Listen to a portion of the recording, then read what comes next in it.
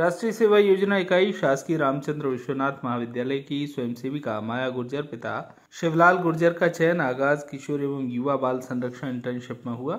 इनका चयन बाल संरक्षण एवं अन्य सामाजिक गतिविधियों में सक्रियता को देखते हुए किया गया। माया गुर्जर आगामी तीन महीने तक बाल हिंसा विषय पर विभिन्न गतिविधियों और नवाचारों के माध्यम से समाज में कार्य करेंगी। मनासा से शब्बीर हुसैन की रिपोर्ट।